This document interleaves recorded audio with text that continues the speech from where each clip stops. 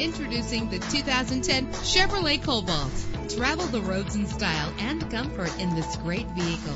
A low odometer reading makes this vehicle a great value at this price. With an efficient four-cylinder engine connected to a smooth shifting automatic transmission. And with these notable features, you won't want to miss out on the opportunity to own this amazing vehicle.